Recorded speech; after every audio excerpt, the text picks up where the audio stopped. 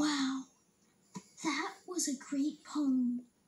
I guess words do have a lot of power. And it's up to us to use that power for good. Um, Yadina? Xavier, uh, I, um, uh, maybe start with how you're feeling. Sometimes it's hard to talk about, but you'll feel better if you do.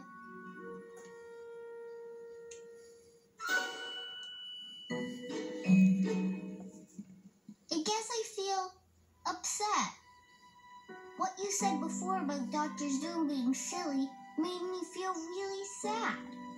Dr. Zoom isn't silly to me. Yadina, I'm really sorry. I didn't realize what I said would make you or Dr. Zoom feel sad. I felt sad too when you said I wasn't a very good juggler. I'm sorry. I was just upset. I didn't mean it. Uh, everyone knows you're an amazing juggler, Xavier. Pretty amazing too, Yadina. You too, Dr. Zoom.